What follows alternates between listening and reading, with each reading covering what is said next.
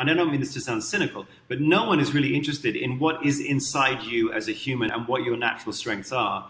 Because the whole hmm. approach to education and work is basically that each one of us is an empty vessel and we can fill it with whatever education we wanted to fill it with.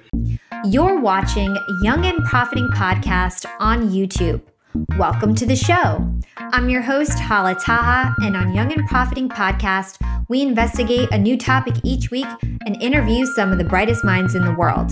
Before we get started, hit the subscribe button and don't forget to click the bell icon to be notified every time we drop a new video. Hey, Marcus, welcome to Young and Profiting Podcast. Hi, Hala, How are you? Good. I'm really excited to chat with you today. You are an expert on all things careers, thriving in the workplace, improving your productivity, and things like that. You're a best selling author, you're a motivational speaker, you're also a researcher, which is very interesting. So I can't wait to dig into all of that. Um, so, to set some context for our listeners, I want to understand the difference between strengths and weaknesses because this is something that you talk very often about. And I want to ask some follow up questions about that. So, uh, with that said, could you just lay some, some foundation uh, for our listeners about strengths versus weaknesses?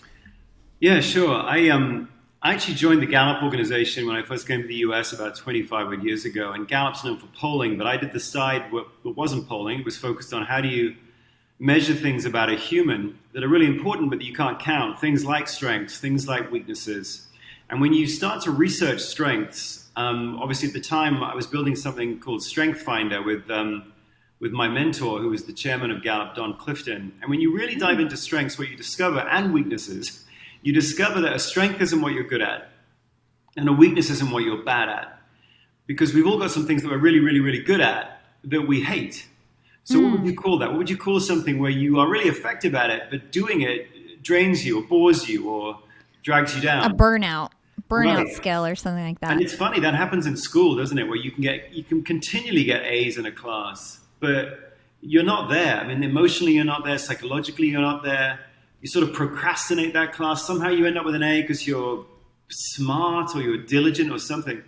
But when you really push on it, what you find is that um, all of us respond to situations in life, activities, people, contexts, in a, in a way that's either positively or emotionally, um, it's either a little jolt up or a little pull down. Nothing is really emotionally zero. And so weaknesses are any activity that weakens you, even if you're good at it. Mm. A hmm. strength is any activity that strengthens you, even if you're not good at it yet. So a strength is far more appetite than it is pure ability. And so yeah. what that pushes you towards, you realize that the person who knows what your strengths and weaknesses are better than anyone else in the world is you. Yeah. So then how do you start to understand like what's a strength for you and what's a weakness? Like how do you measure that and evaluate that? Well, probably the simplest thing, and we've done this with 10, 11, 12 year olds. By the way, for your listeners, just know, unfortunately, no one at school or in college or at work, no one is interested in finding out your now. I know it sounds weird to say, but no one, and I don't mean this to sound cynical, but no one is really interested in what is inside you as a human and what your natural strengths are.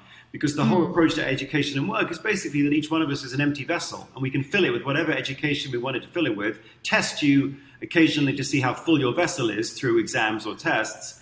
And the best student or the best worker is he or she who's the fullest. So the idea that each one of us is beautifully unique with unique strengths and weaknesses is sort of lost on school or on work. But for you, if you wanted to figure out what your particular natural strengths are the sim- and weaknesses, the simplest thing to do is to use a regular week of your life.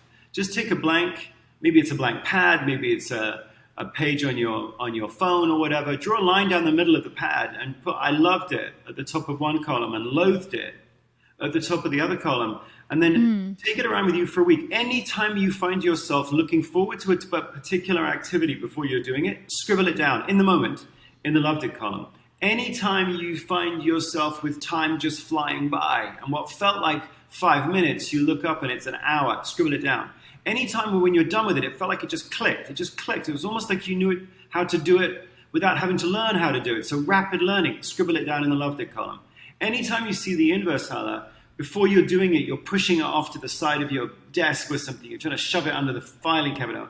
Or when you're doing it, time sort of drags on. It. Uh, you, you get to the end, but you're mm. an empty husk. anytime anything like that, scribble it down in the load thick column. Just spend a week using the raw material of your life to show you where is the positive valence at the level of the activity and where is the negative. And you'll get to the end of the week and you'll have a list. You'll have a list not of like theoretical terms like strategic thinking or executive presence or growth orientation or entrepreneurship. Yeah. Not that. You'll have a list of actual activities, some of which super draw you in, and some of which bore you or drain you, as you said, burn you out. That is a beautiful starting point to begin to identify for yourself where you get strength from life. And because mm. strength and appetite and appetite and practice and performance and practice are this beautiful ongoing loop, the more detailed you can be about which particular activities draw you back, those are your strengths. You may not be good at them yet. You may not be. You may just be drawn to them repeatedly. But the beautiful thing is, you use your life, not someone's theoretical models, but your life of to help you know what are the particular aspects, activities, situations, contexts, moments that strengthen you. Those are your strengths, and you can do it at 11 years old. Yeah, I love that. I love tactical advice. So I think everybody who's listening should take heed and do that activity to find out their strengths and weaknesses. Now, I know that you're you have a very strong belief that you should not uh, really focus on your weaknesses. A lot of people have it backwards. They they focus a lot on improving their weaknesses, but you say focus on your strengths. Why is that, and how can we start to build up our strengths even better? And you know, how did you come up with the fact that you feel that weaknesses really aren't where you should focus? Well, to begin with, just to sort of clarify, um, I don't feel it. I don't think it. I'm a I'm a researcher, so I sort of go mm-hmm. into any situation with a blank canvas. We went in. This was about 25 years ago now, but we went and basically studied highly performing managers or team leaders and lower performing team and team team, team leaders and and companies would give us their top 100 managers and uh, their bottom 100 managers. And we'd do this again and again and again and again. So you're constantly looking, in the world of research, it's called a study group and a contrast group. So you just keep talking to the world's best managers and team leaders, and you ask them a whole bunch of questions about what do you do? What do you do to get the best out of your people?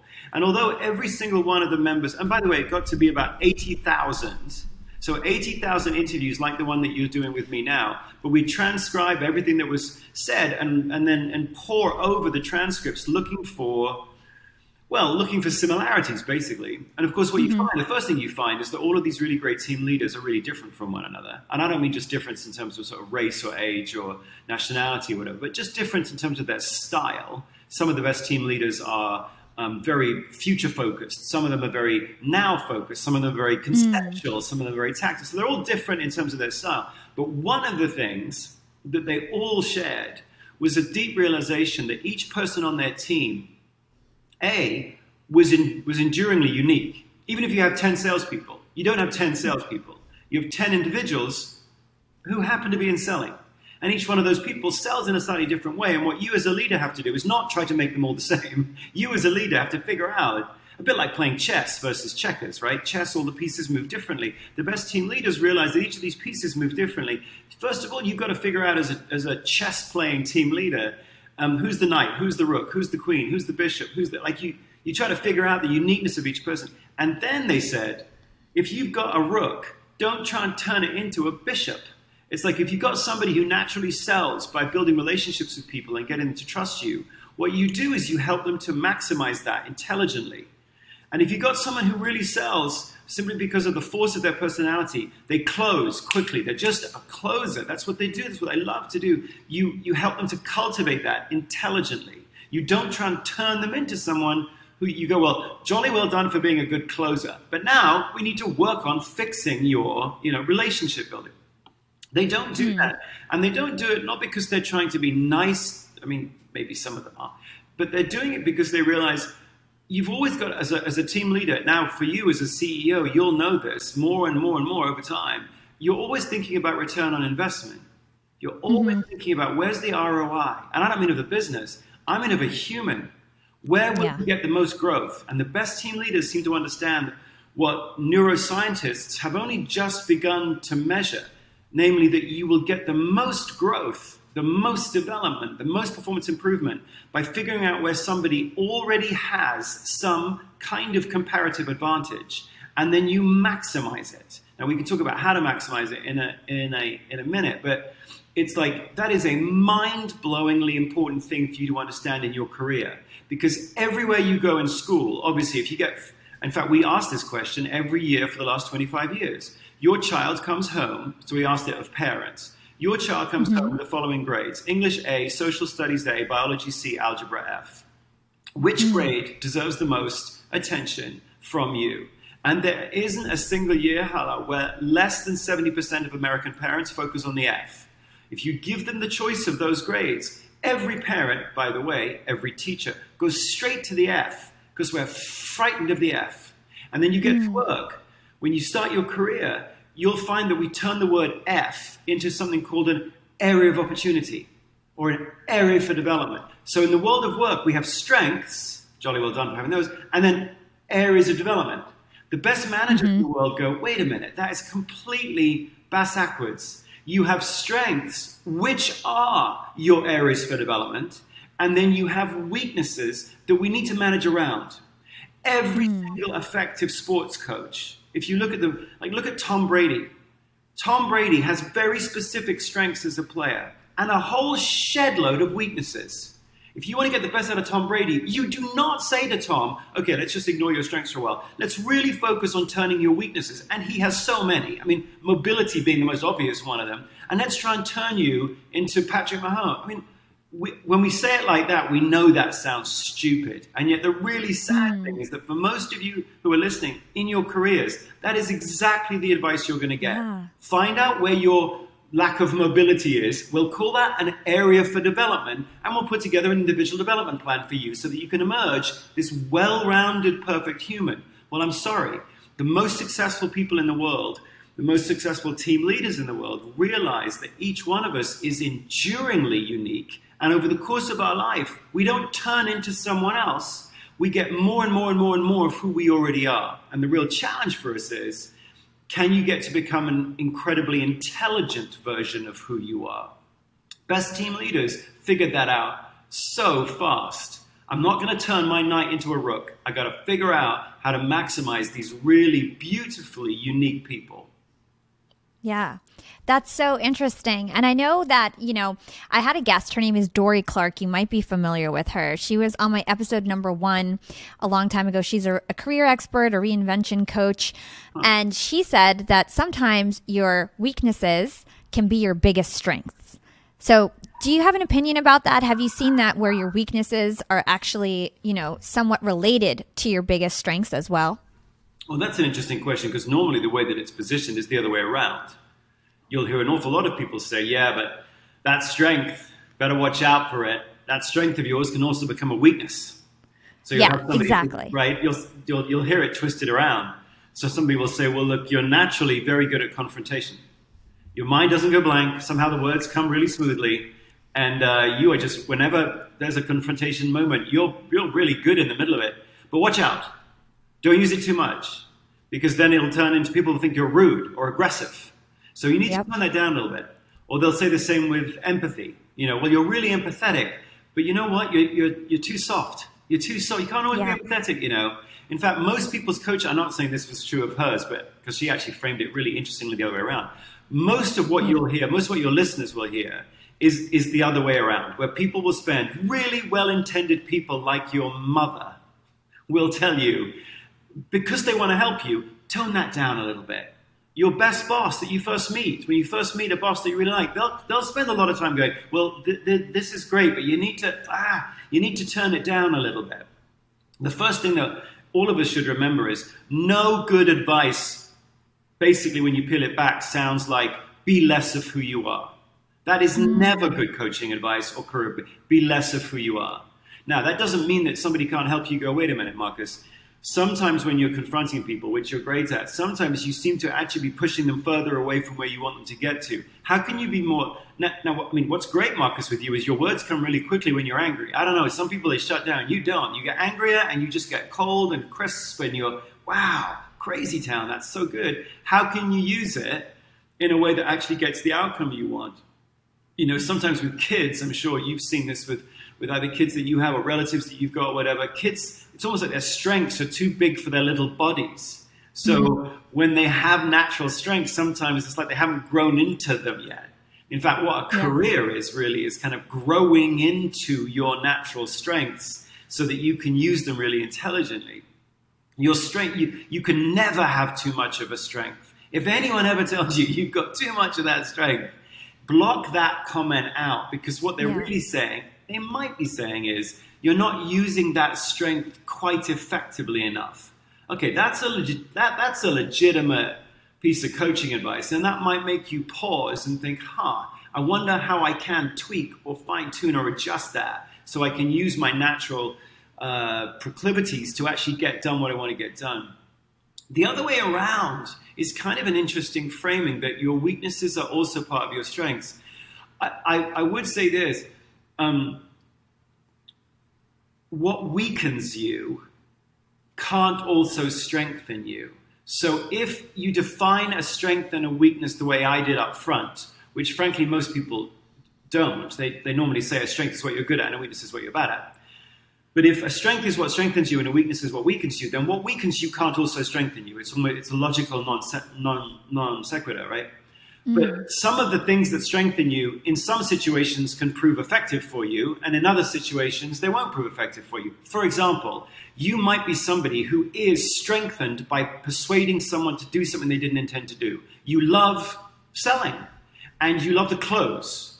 And then because you love selling and because no one really helped you understand which bit of it you really loved, mm-hmm. and when you were selling for that, um, for that uh, medical device company, you got closes all the time. It was so great because you got the little signature on the thing and you were like, yeah. And then you got promoted. I don't know why, but you got promoted to work for a pharmaceutical company like Amgen or something or Genentech. And you went in and you, you know, you're quote unquote good at selling, but you go in there and you suddenly realize that in pharmaceutical sales, you never close. There's no close. There's no signature.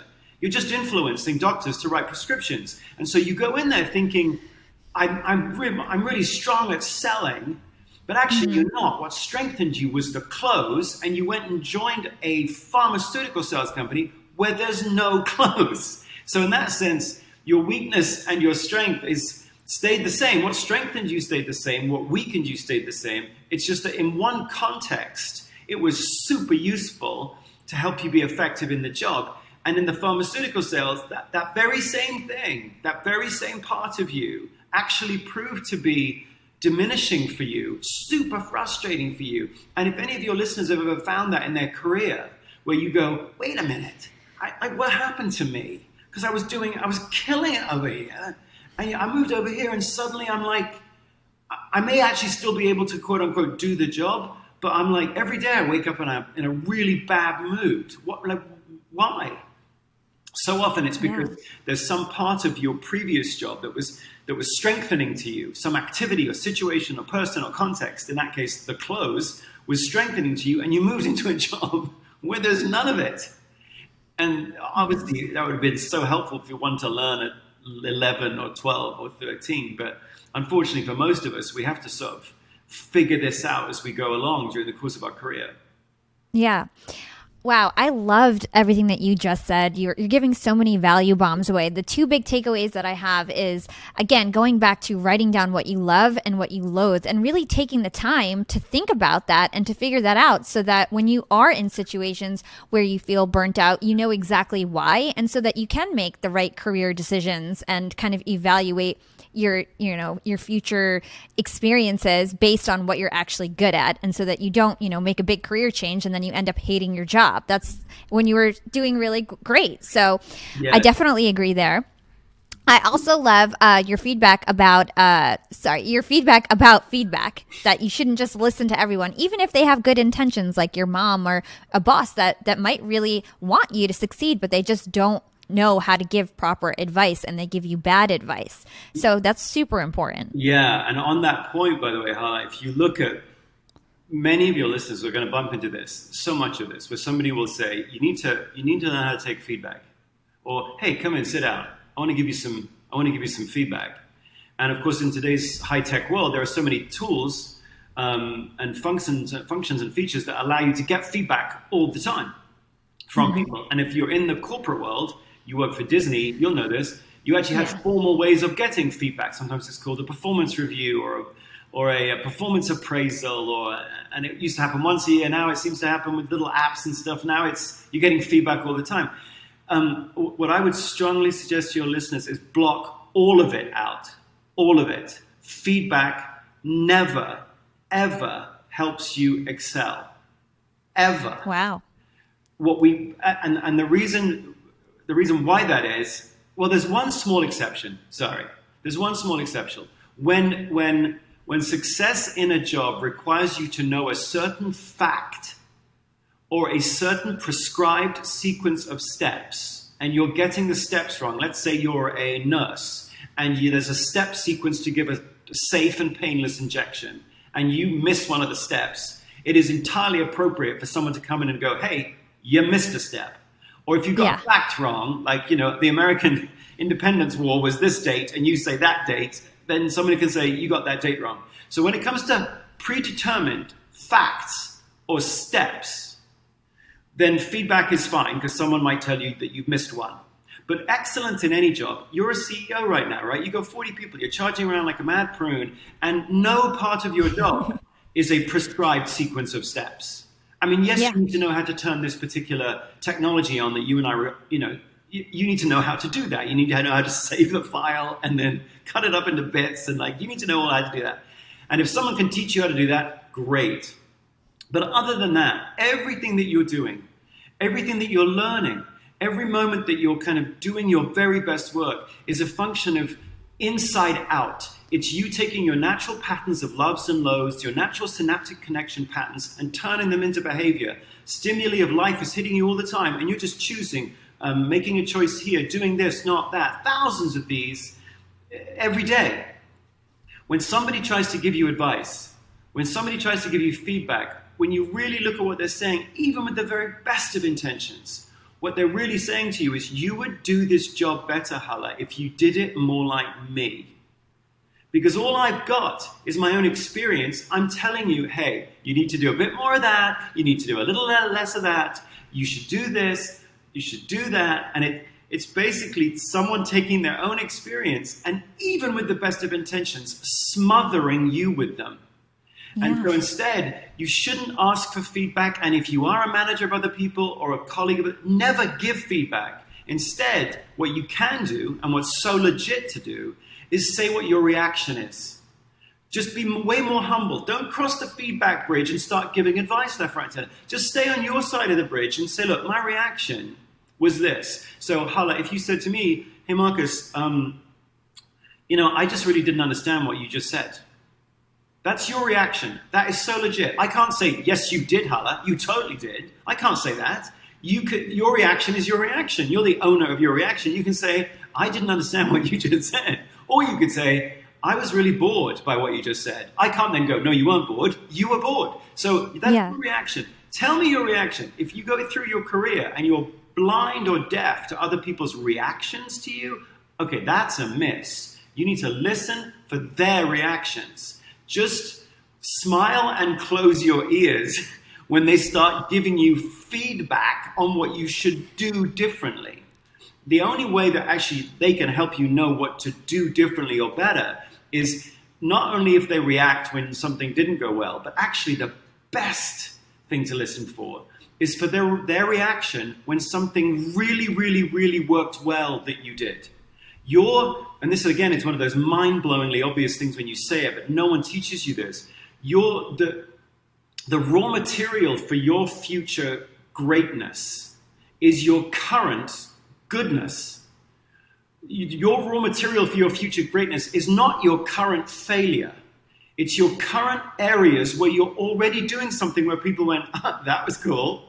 That presentation you gave, you know what? You know, not everything about it was great, frankly, but this part I lent in like crazy. If you built a whole presentation where you did more of that, that that moment there, I don't know, I just lent in. I couldn't stop myself from leaning in. It was so you nailed it. Your energy was fantastic that raw, if someone's telling you their reaction about what worked, that's yeah. not them being nice to you. That is them giving you raw material to help you know what should I tack towards? What should I do more of? What should I fine tune or refine?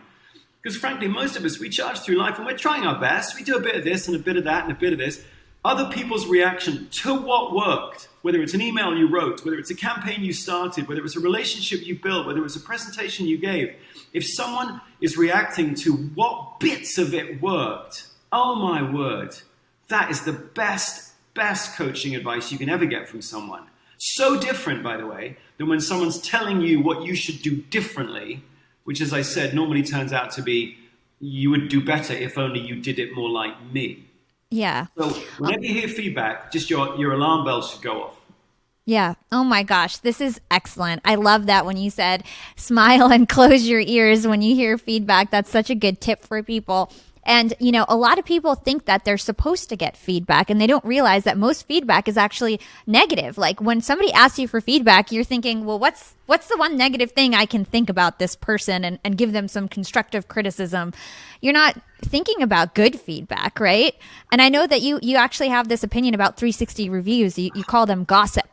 So tell us about your opinion on 360 reviews because we did that at I don't work at Disney anymore, but we did that at Disney and I have a great story about how, you know, somebody who was just kind of out to gave, get me gave really bad feedback which had not like, you know, if you ask any of my past managers of the past 10 years or any of my past coworkers, everybody would be like, that doesn't sound anything like Hala, you know? Yeah. But it's just one person who was out to get me. So talk to us about 360 feedback. Well, again, as with everything else, I don't have an opinion about anything you go in and sorry about that. Tell us about the facts. right. I mean, it, and I only say that because, as you know, in this day and age, sort of everyone's a thought leader. I think this. I think that. I think this. I was a chef, but now I'm a life coach. It's like, how does all? Everyone's a thought leader. So it's important if you have data to sort of start with. Well, the data show, because then you're not really just putting your opinion out. You're going, this is what we can see in the world. When it comes to 360s, first of all, you're right in, in many, many cases, they're an opportunity for someone anonymously to lob little hand grenades at other people. So there's that whole part of it, which is just dangerous and politically damaging and psychologically hurtful.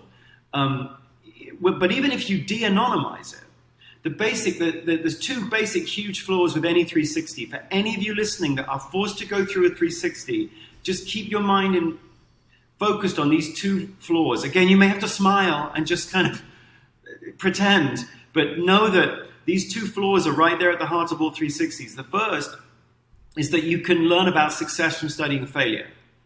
That if somebody's using a 360 to point out where your gaps are, you can learn a lot from studying your gaps. Remember, you learn nothing about success from studying failure. Let me, let, us just all be really clear. There's so much stuff, ah, failure is such a great teacher. No, it isn't. Failure teaches you about failure. If you wanted to learn about failure, study it up the wazoo. It teaches you nothing about success. In fact, some aspects of failure are really similar to success. So if you study failure and then say, don't do that, you won't succeed. It's like saying if you studied really unhappy marriages, you actually, and this is true, you find out that people argue a lot. You count the arguments, there are a lot of arguments. So what you would then say is, well, to have a happy marriage, you shouldn't argue. But you actually study really happy marriages, you count the number of arguments, there are exactly the same number of arguments. Or rather, there's no statistically significant difference between the number of arguments in a happy marriage and the number of arguments in a rotten one. It turns out that the difference between a happy marriage and a, and a rotten one isn't the number of arguments, it's what goes on in the space between the arguments. And in the unhappy marriages, somehow you lean away from one another, and each argument is proof of the need to kind of be armored against the other person's attacks. And somehow in a happy marriage, the arguments are a sign for more reaching toward one another, more intimacy, more curiosity. So if you just studied really unhappy marriages, found out that they argued a lot, you'd go, well, well then if you want a good one, don't argue, which is completely wrong. It's like saying health is the absence of disease. In order to learn about health, we should study disease. No. If you want to learn about disease, you study disease, which is fine, do that, but don't imagine that's health. Health is a totally yeah. different thing. So that's the first thing with 360s.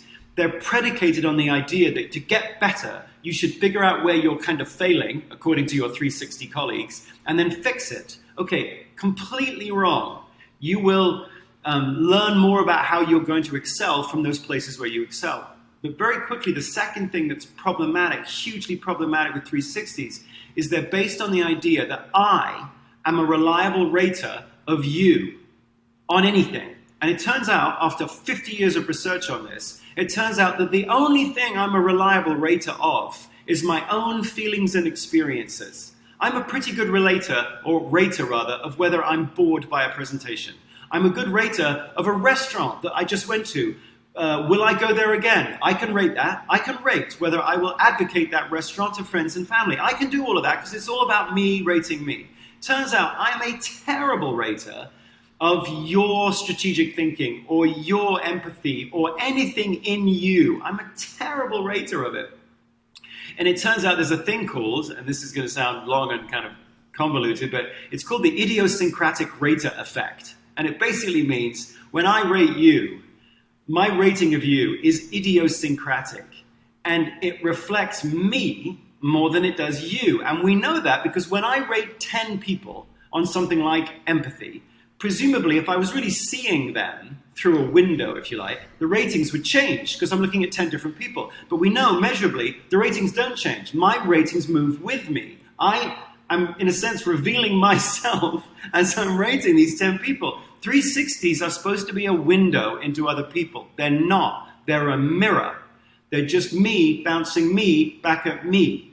And for those of you who are listening who are stat heads, you'll know that if your measurement system has systematic error in it, which this is systematic error, the more data you add doesn't get rid of the error.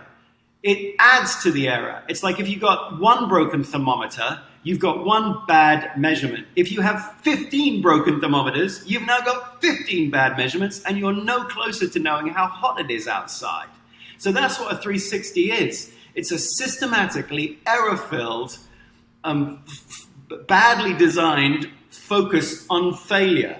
And it's like, and unfortunately for many of your listeners, you're going to bump into this. Some well intended team leader is going to go, hey, here's this new nifty 360. It's part of our human capital management system and it's going to help you get better. Okay. Yeah. Whenever you see that, like, again, you may have to smile to be politically savvy, but just please don't let your career be determined by other people's faulty thermometers. Yeah.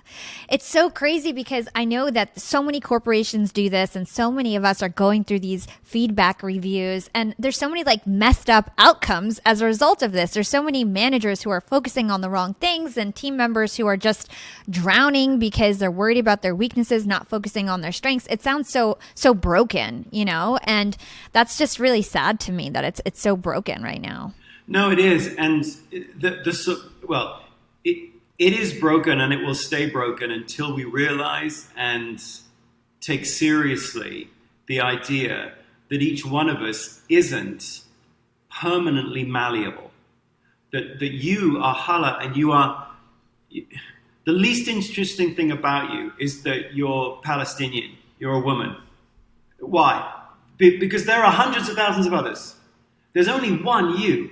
And the full extent of how unique you are is if, if we actually count the number of synaptic connections in your brain, we find out two things. One, you have as many, you, Hala, have as many synaptic connections in your brain as there are stars in 5,000 Milky Ways. And that isn't a silly exaggeration. That is wow. the full, massive, overwhelming, beautiful, filigreed truth of the fact that you will shine the way that you shine only one, there'll be only one person ever in the world, ever in human history, that will be as unique as you are.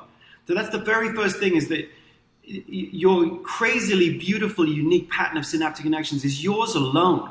And it will be extinguished when you die. And it will never shine that way again. It's like you are so bloody precious. Second, we know that you will grow more synaptic connections in the areas of your brain where you have the most pre existing synaptic connections.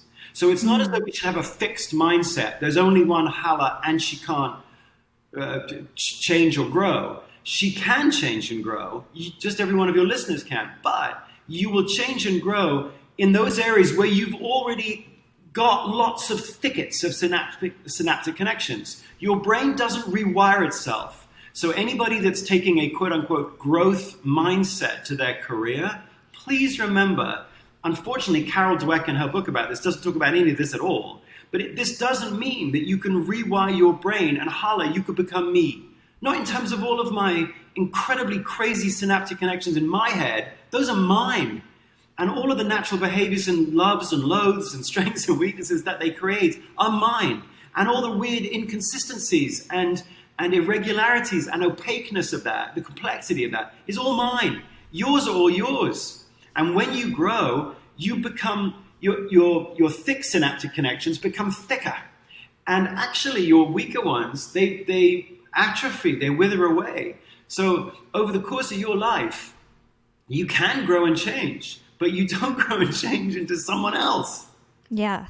Anyway, sorry yes. to bang on so, about that. No, it's so interesting. No, I love this conversation. I feel like everyone's going to find so much value in it. Uh, very entertaining and interesting. Um, so I have a team, like we talked about. I have already, over 40 employees, and we have a very happy company culture. And I think that it's because naturally I do this. I really compliment everybody on their strengths. And since we are a startup, everyone kind of can land grab where, where they feel most productive and happy. And so it's not like I'm like, here, you're a graphic designer and you have to do this exact job. It's kind of like you're on the graphic design team, go do what you're going to be best at. Like that's kind of my attitude. So, um, I actually think I'm going to do this love and loathe thing for my team, have them do that for two weeks, track all their activities so that I can just see that mm. and know, you know, to kind of put people on the projects that they're best at and just have that, you know, information to help me make decisions going forward. I think it's so useful. Is there anything else leaders can do to kind of make sure that their team is working on their strengths?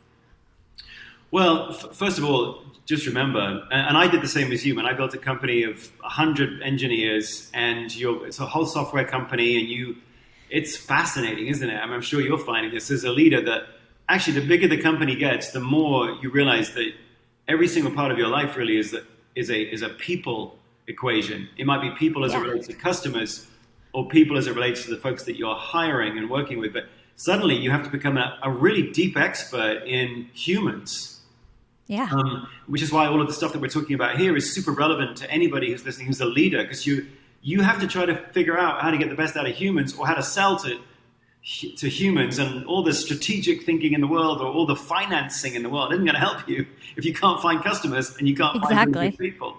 Um, so, in terms of like how you can help people capitalize on their strengths, the by the way, if you do that love and loathe it thing, um, Uh, what you're trying to get them to do in the end is sort of write.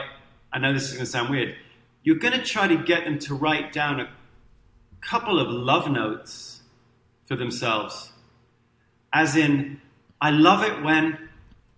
And then you get, because remember, if they, if they did this for two weeks, they'd have a whole bunch of activities written down in the loved it column and a whole bunch yeah. of activities written down in the loathed it column. And you sort of want to turn to them at the end of two weeks and go, okay, write three love notes to yourself not I'm amazing at. No, no, no, you're not bragging. You're just going, I'm at my best when, or I love it when, or I get a kick out of it when. Just write three for yourself. If you don't want to show them to me, don't show them to me. But for you, team member, take ownership for the love that you draw from your life. You know, we, we said there's five love languages. No, there aren't. There are nine billion love languages. Learn to speak yours. So, so write yourself a love note, which basically is I'm at my best when note, and use the raw material of that loved it, loathed activity as your raw material. Don't pull it out of the air. Pull it out of last week. Pull it out of last week and write down, I'm at my best when. And then perhaps, and this is so fun to do, you get your team together, not 40 because it's too big. So you'll have to break it down into smaller teams. But you mm-hmm. can spend two hours, and it's a great two hours where everyone just shares their love, shares their love notes. I'm at my best when this. Now, you're not saying I'm the best at. That is a totally different claim. You sort of don't want that. You I'm, I'm the best at this. Okay, shut up, okay? Who knows who's the best at? But if you say I'm at my best when, huh? Well, now no one can come in and say, no, you're not, because this came out of your life. So it would be a, it's a very good thing if you're running a team, if you do that love it, loathe it activity, the next thing to do each person writes a love note. Write, I would suggest three. And then the next thing, if you really wanted to accelerate your team's collaboration, share it. Because it's weird. We don't know one another. We make these stupid generalizations about one another. Not stupid, but but we see someone's superficiality. They're a, white man, or they're a black woman, or they're a Palestinian, you know, and we sort of make a yeah. that's a he's a uh, you know a, a, New York Patriot, New York Jets uh, supporter, and he's an idiot Patriots, and and we make these generalizations. And of course, they hide the beautiful uniqueness of each team member. So that's a good thing to do is to go sit, to go around and go, listen, we're not going to say what all of our skills and certifications are, because who the heck knows what all those are? Or we can go on LinkedIn and see what those are. But, yeah. but when are you at your best? Boy, I mean, seriously, if we did this with, we had 100 people, so we had like about eight or nine did different teams. And we did this every three months. Wow. It's a great two hours because you're like, oh, I didn't. And of course, you can, if you wanted to do it the next time you meet, you can do the inverse. I'm drained when. I really find it difficult when. I'm at my worst when. And that doesn't mean that you can slough it off. Oh, therefore, I'm not going to do it. No, no, no. But it's a wonderful thing, Hala, in your company to be the kind of company where it's okay to say, I am super geeked by this and this and this and this and this. And this over here, I'm, you're going to get a B, a B minus version of me. I know that sometimes I have to do it. I totally get it. I totally get it. But don't ask me to crush it. If you keep bringing me, it's like I remember when I was working for a boss one time. I, I spent all weekend putting together 27 different options of what we could do. Because I kind of like processing everything and pulling it apart. And I put together this kind of PowerPoint presentation that would have made the NASA moon landing look simple. You know, I had all these. if we did this, then we would do this. We did, and I brought it into her, and, I, and she liked me. And about ten minutes in, I could see she was doing that. You know, the telltale signs that she was uh, bored or, or frustrated, checking the watch, looking up. And I stopped and I'm like, look, what? I, I spent all week. I spent all weekend on this. And she's like, Marcus, I'm really busy. I expect, I, I trust you, dude. Come in with two things. Tell me why you'd pick the one. And I'm almost 99% of the time going to pick the one that you pick. And, and for her, she took information, she didn't take information in in the way that I did. She took it in in a way that I presume you've thought this through. Come to me with two options, make, make a decision. Now, that isn't, she's not right. I'm not wrong. But what you do when you do that kind of activity, when you share with one another, I take information in this way. Oh, I take it in this way. Or I'm at my best with this, I'm at my best with that. What you're doing is simply building awareness. Mm. Now, sometimes I'm going to have to do something a little outside my comfort zone because she wants me to just snap a decision off. Okay, but at least I now know that's how she's taking information in, and she knows that's how I'm taking information in. And awareness is this beautifully powerful part of A, building a great career, but also building a great team. The opposite of awareness is assumption. And so everything that we're talking about here is getting past assumptions about, oh, I know graphic designers. All graphic designers are like this. Okay, no, they're not. Each hmm. graphic designer is weird and cool and different. and you've got to put in place inside your teams, and I hope you do do this, some ways to cut through assumptions and let people use the specificity of their own daily life to share a few really cool love notes about how you could get the best out of them. Yeah, I love this. We're definitely going to do this at Yap Media. So thank you so much for that uh, activity. I can't wait to do it with my team. I know that you have like 20 years of research experience. And so you've researched a lot of different topics. You have many different books. We're on the topics of managers. So over the years, you've done lots of research studies on this. What makes the best qualities in a manager while we're on this topic? Well, that's hard to say, right? Because every manager is different. What we do know is that every really, really great manager has the ability to individualize. If you can't individualize, you can't build a great team because a great team isn't built up a bunch of the same people. The, the, the, the team, if you will, people always say there's no I in team, as though the point of a team is to remind you that you're not that special. It's like, no, no, that's a complete misunderstanding of what teams are for. You bring mm-hmm. teams together because a team is the place in which lots of different people, lots of unique eyes, actually make a contribution together and they achieve something together they couldn't do by themselves. The point of a team are the eyes. So, so individualization, if you want to be a really good team leader, cultivate, and some part of this is a skill. It's not just a natural strength. Some part of managing is learning how to see the clues. Can you see where somebody has rapid learning? Can you see where one of your team members just gets in the zone and and they they just seem to be in flow. Can you see where people are naturally volunteering and, and not in a not in a misinstinct kind of way? I mean, some people's instincts are that they've been, they're instinctively raising their hand for a job because the job comes with certain benefits, uh, money, uh, prize, prestige, American Idol, all those people like volunteering. They're volu- are, they really volunteering for learning 100 words or songs to 100 words to 100 songs, practicing all those times by yourself? Are they really volunteering for the actual activities of what it takes to be an American Idol? Or are they volunteering because they want the praise and the money or the attention?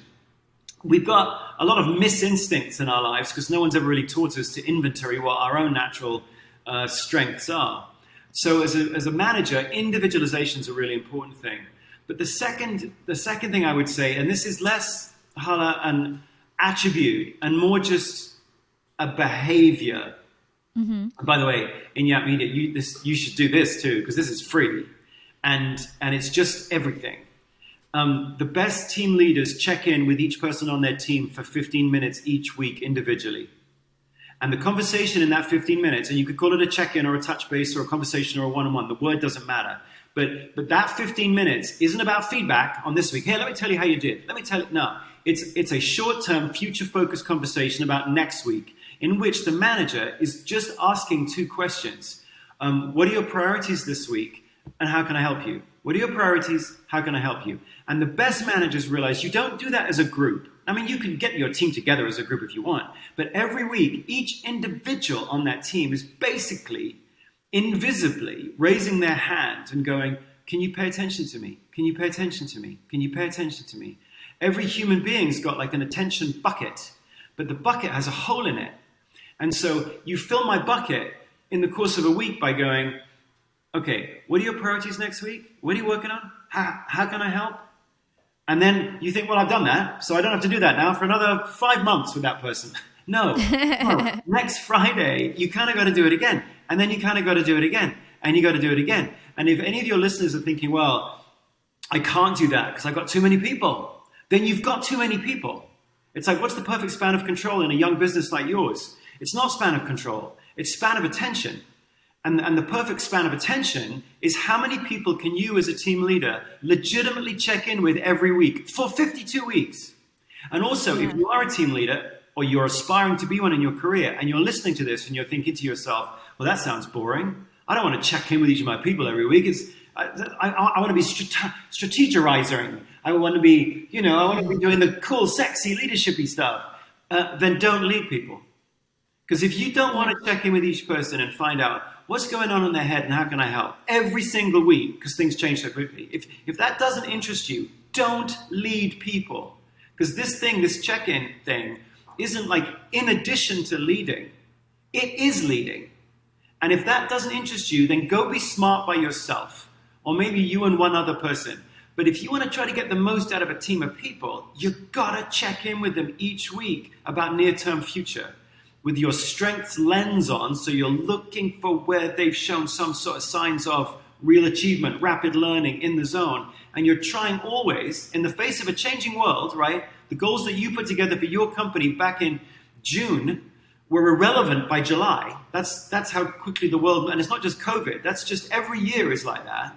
Yeah. We, we have a whole other conversation about goals, by the way. But if you're a team leader, yes, you need to individualize. But then this this this frequent light touch check in. No one will tell you this, by the way. I don't know why, but no one will tell you this. And yet, I promise you, if you're leading a team right now and you get in this habit, it's like brushing your teeth. You don't need to have a perfect coaching moment every check in. Some check ins, you'll just go, oh, and okay, and I'll do my best. And that's all you've got that week for that person. But that's okay, because next week, you're going to ask them again and again and again and again. It's like your year is 52 little sprints as you pay attention to each person. Last quick point on the data the data show that the modality doesn't matter. Whether you're doing it in person, whether you're doing it on the phone, in app, on a text, uh, on an email, it actually doesn't matter. What matters is that it happens, not the way in which it happens. So, weirdly, crazily, the most powerful team ritual you can put in place as a manager is not a team ritual. It's a one on one check in with each person. Super light touch. If they go beyond 20 minutes, well, maybe you decide that three of them in the year will go beyond 20 minutes because you just want a fuller debrief. But most of them are just 10 to 20 minutes of like, what are you working on? How can I help? Yeah. And so do you recommend like I have a C I'm a CEO of a company and I have sub teams. So do you recommend that each leader does this with their sub team or do you yeah. recommend that I do that for every single person? No, no, absolutely not. Your role as a CEO is totally different, which we can get to in a minute if you want to, but but no, um, your role right now as a CEO, you're building teams of teams. You're building teams of teams. In fact, your most important job right now as a CEO is how do I ensure that I'm putting in place the right ways to build lots of teams like my best teams? Yes. Uh, it's like we found out, obviously, you ask people this question around the world 84% of people say they do most of their work on teams. 84%. There's a few people in the shed at the bottom of the garden all by themselves, permanently doing just work. There are a few people like that. Most of us, though, even the smartest of us, we're doing work on teams. 65% of us say we do most of our work on more than one team, and that that team isn't reflected on the org chart. It's a dynamic, ephemeral team that came together for six weeks over here, or it came together for four months over here. So most of us have a formal team, and then a couple of other kind of uh, coming together teams.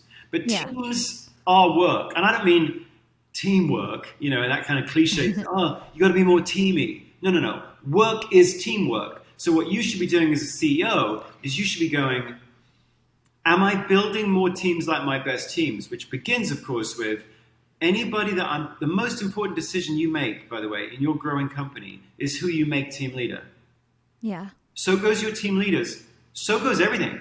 You could be the smartest person in the world. And if you're putting in place people that don't get a kick out of individualization, that really actually want to tell people what to do because they're into control. They don't want to check in with everybody each week individually because it bores them to tears and they're way more interested in themselves. If you keep doing that, I don't care how smart you are, Hala, your company's going nowhere because no mm-hmm. one will want to work there, or if they do come work for you, they won't stay.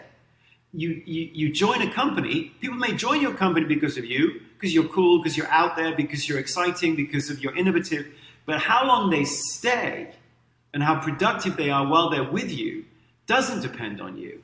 It depends massively on that little local team. So, yeah, the short answer to the question is each one of your team leaders should be doing this. And if they don't yeah. want to do it, that is a red flag for you. Yeah. I think this is such a great point. You made me think about something that I've said before on this podcast that you can be a great employee and you could be great at what you do and it doesn't mean that you have to eventually lead people. There's lots of people who aren't great at leading and they can lead in their own way as an individual contributor and not have a team and that's how they how they perform well. Just because somebody performs well doesn't mean you just promote them to be, lead a team because it's very different skills. And so i think that's a brilliant point that you make and it just like really drives that point home. And and, and to put specificity to it it really sort of means if you rather than you're, you're not going to be a great leader, rather than saying it that way, you can almost say to people, look, let me tell you what leading is. Leading is figuring out the uniqueness of each person and then paying attention to that person in the work, that person in the work, that person in the work for 52 weeks of the year. Are you interested in that? Because if you're not, yeah. then in terms of the going all the way back to the definition of a strength and a weakness, if that doesn't strengthen you, and by the way, we could try it out. We could try it out. Why don't we try it out? And the thing we're trying out isn't some elusive concept called leadership. We're actually just trying out an activity. We're going to maybe, maybe we'll put you in uh, a dynamic or ephemeral team. We'll give you a little project. We'll give you a project for about six months. I don't know, six weeks, whatever it is. You can try it out and see whether or not checking in with each person about near term future work, when you can't tell them what to do, you have to manage by remote control, not more control, you have less control. Let's mm. see whether or not you get any sort of kick out of that, because if you don't, that's the job of leading. And if that, right now, for whatever reason, doesn't thrill you or doesn't give you any jolt or anything, then the money, if it comes with more money, or the bigger title, if it comes with a bigger title, that's not going to carry the day. It's like in the end, if you want to build a really great career, the what always trumps the why or the who with. Even if you super believe in the why, by the way, I'm a huge fan of Simon Sinek stuff, so find your why. Okay, that's cool. And, and obviously the people you work with, the who, that's important. But if what mm-hmm. you're doing every day at 10:30 in the morning on a Tuesday, or what you're doing at 3 p.m. on a Friday, if the activities themselves don't uh, strengthen you, then that will always, in the end, burn you up. Burnout comes not from losing your why, it from, comes from doing the wrong what in service of the why. Mm. So, in that sense, if you want to know if you want to be a, a team leader in your life, having an activity that we can go, oh, leading's that. All right, well, let's try that. And let's see whether yeah. or not you get any kind of thrill out of that. And if you don't, as you said, that doesn't mean you're a bad person. It doesn't mean you couldn't be incredibly successful in your career. It means you're yeah. probably going to be successful mostly because of your own efforts, your own insights, and less about your ability to build, to build teams or teams of teams. Yeah. Everyone shouldn't aspire to be you. I mean, if I looked at your job, your life, you know, there's going to be a whole lot of activities that a lot of us would go, I don't want to do that. I don't want a, a life.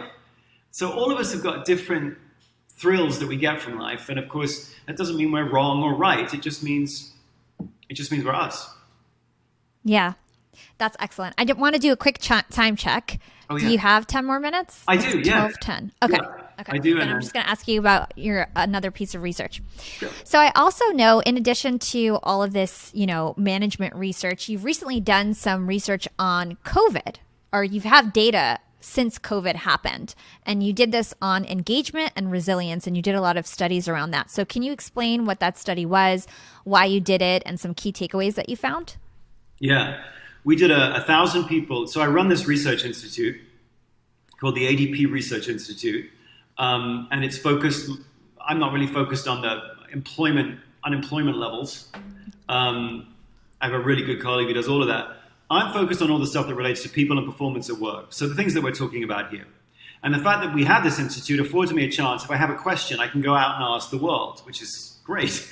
So we did yeah. 25 countries, uh, a stratified random sample, which means you stratify your sample to reflect the working population of each country. And we did it for 25 countries around the world. And we actually oversampled, so it's about 26,000 people total.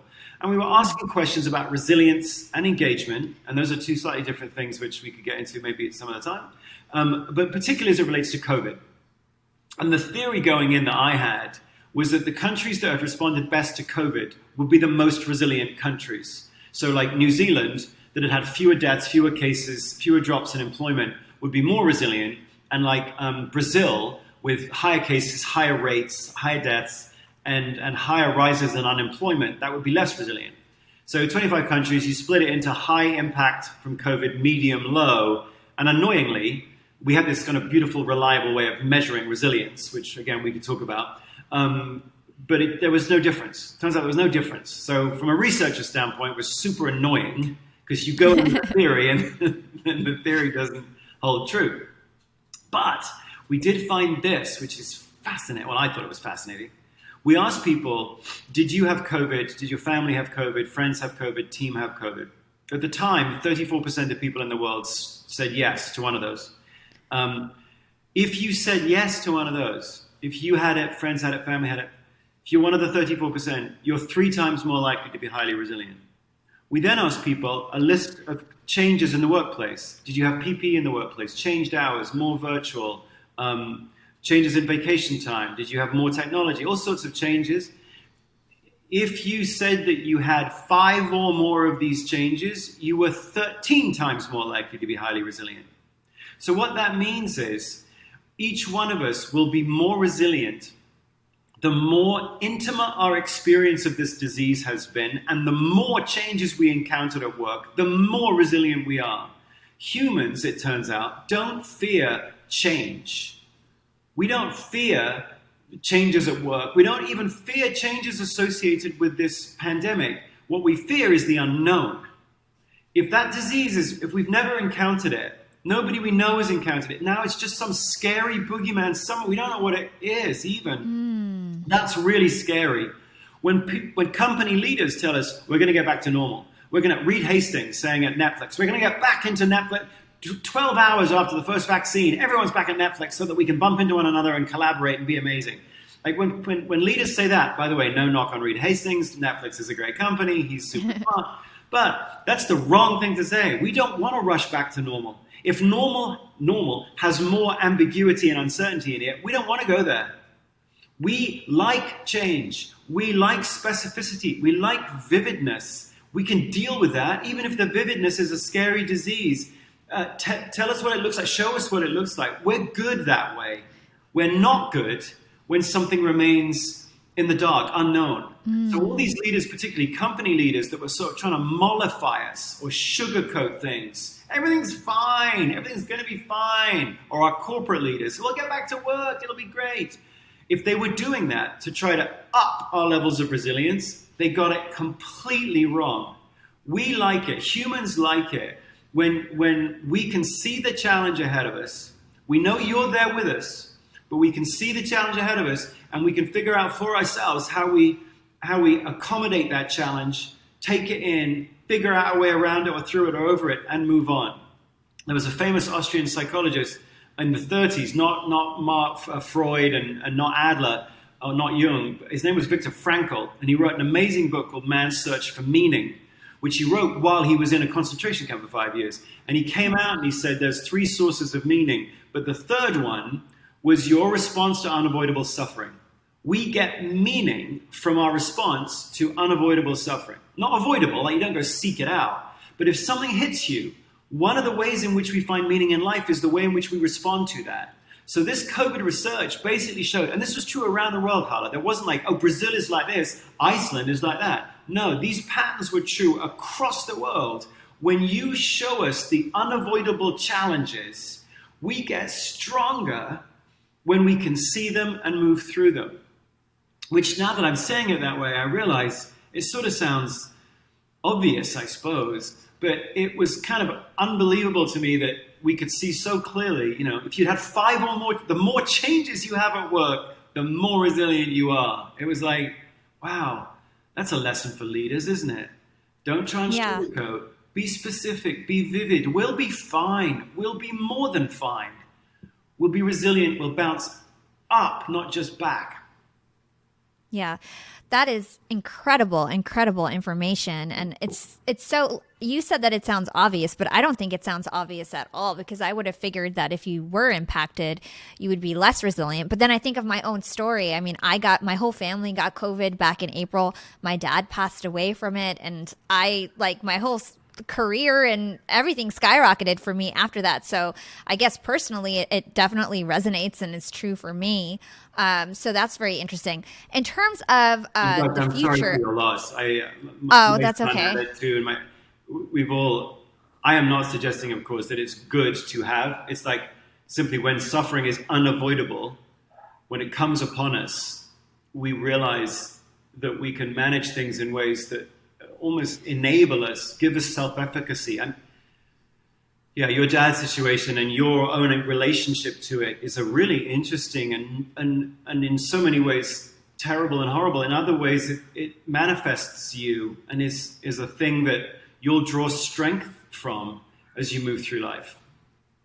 Yeah, because it's like, so many bad things happened and unless you know want to just dwell in the negativity or you know i'm not that type of person where i would just kind of shut down. It made me motivate me because i realized life is short you know and we only have this amount of time and you know you want to make people proud who who supported you and loved you and just yeah. it actually motivated me to just keep working harder honestly and i turned everything up. So uh, mm. definitely resonates with me.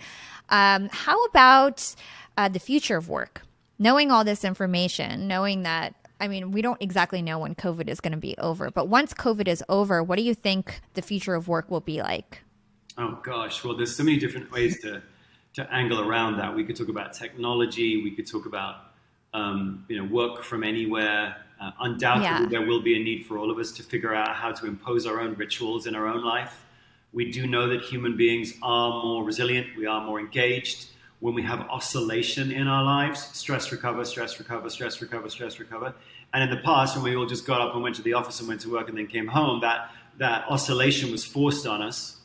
And now, of course, with many of us, and this will be true, I think, for a long time, we'll be working remotely, we, we will have to uh, create those oscillation rituals ourselves. You know, in your life right now, you've got to put, impose on yourself a stress recovery ritual so that you don't just stress all the time or recover all the time. Um, yeah. There's that. Um, we do know, by the way, though, that when we did this global research on engagement, the most engaged people, and we did this before COVID as well. So the year before COVID, we did this. The most engaged people were people that worked from home four days a week and worked in the office one day a week. Uh, because Wow. it gave people more chance to set their own schedule and more chance to do what they loved. So this whole thing about COVID has made us um, remote, and remote is horrible and dangerous and difficult and lonely. Some parts of that have aspects of truth, but but actually, the most engaged workers in the world were people that worked at home four days a week, and then you came in for one day a week. That isn't to say that everybody should do that, and isn't even to say that everyone can do that. But moving forward, the future of work is going to look a lot like that, and it's not bad because you ask people whether they feel like they're part of a team, and whether they worked in an office or didn't didn't correlate with whether they felt they were part of a team. Some team leaders are clearly able to build a sense of team as a state of mind, not a state of place. And so the fact that the future of work is going to have more remote in it um, doesn't mean that we can't all flourish, and it doesn't mean that we can't all be uh, part of a team. We can. And of course, with your company, it'll mean that you'll need to keep telling your team leaders how do you make people feel part of a small team. Um, that's an ongoing challenge. We can come back another time maybe and talk about how, how to do that. One of the things, obviously, is that ritual of a check-in. Like you can do that Yeah. remotely. Um, the only other thing I would say, I think, is that, that this has reminded us of more and more, and your own example here is a, is a, is a jolly good one. We haven't taken love seriously. The Mayo Clinic did a bunch of research, this was pre pandemic, did a bunch of research on burnout in doctors and nurses. And one of the things they found, m- m- mostly because doctors and nurses seem to be burning out at unprecedented Yeah. levels. Before the pandemic, you had levels of PTSD higher in emergency room nurses, twice as high in emergency room nurses as you did in veterans returning from war zones. So it was like the Mayo Clinic was like something is going wrong.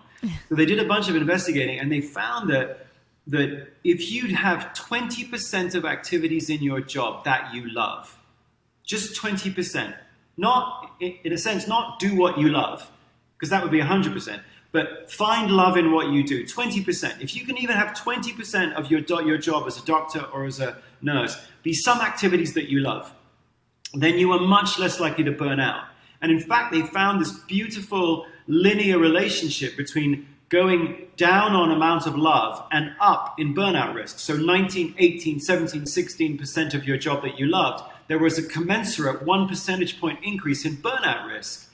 So what that, oh, and by the way, if you had 50% of what you love, or 100%, you didn't get much increase in resilience at all. It was almost like 20% was like a threshold. You got above 20%, and that was cool for you. You could thrive.